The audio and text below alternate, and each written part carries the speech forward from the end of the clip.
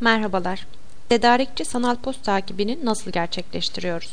Bunun için F10 menüde arama alanına ödeme yazarak ödeme planları ekranımızı açıyoruz. Öncelikli olarak bir ödeme planı oluşturmamız gerekiyor. Bunun için F4 ekle diyoruz. Gelen ekranda kodu otomatik olarak sistem tarafından verilmektedir. Dilerseniz değiştirebilirsiniz. Açıklama alanına bir açıklama giriyoruz. Eğer hızlı satışlarda ve mobil sistemde kullanacaksak bu ödeme planını bu kutucukları işaretliyoruz. Bu ödeme planı ile ilgili özel kod, yetki kodu belirleyebilirsiniz. Ödeme planını kullandığımız sürece durumunun aktif olması gerekmektedir. Pasif olması durumunda bu ödeme planı artık kullanılamayacaktır. Ödeme tipinde virman tipini seçiyoruz. Tutar formülüne fiş genel tutarını ifade eden G harfini kullanıyoruz. Gün alanına ise artı 0 yazıyoruz. Yani işlemin yapıldığı gün içerisinde seçeceğimiz cariye bir manfiş otomatik olarak oluşturulacaktır. Cari hesap alanında ise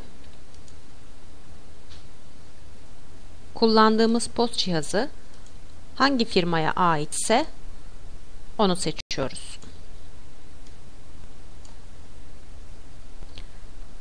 F2 kaydetle ödeme planımızı tanımlamış bulunmaktayız. Hemen bir deneme yapalım. Fatura listesine gelelim. F4 ekle ile bir satış işlemi gerçekleştirelim. Herhangi bir isim yazalım. Ödeme planında ilgili oluşturduğumuz ödeme planımızı seçelim. Ve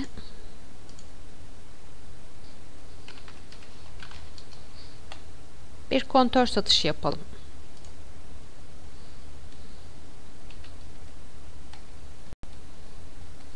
Bir adet 50 TL'lik 15 Şubat tarihinde fatura düzenledik.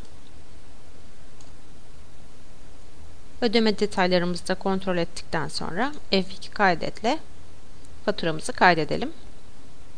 Şimdi cari kart listesinde ödeme planında tanımladığımız carinin hesabına bakalım. İlgili firmanın üzerindeyken cari hesap hareketleri diyelim.